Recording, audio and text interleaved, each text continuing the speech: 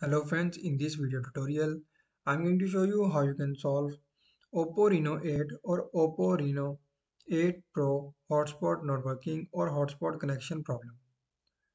So before just starting video, don't forget to subscribe and also press the bell icon. So to fix Oppo Reno 8 or Oppo Reno 8 Pro hotspot not working issue, simply first of all you just need to tap on settings and just do the same to solve this problem.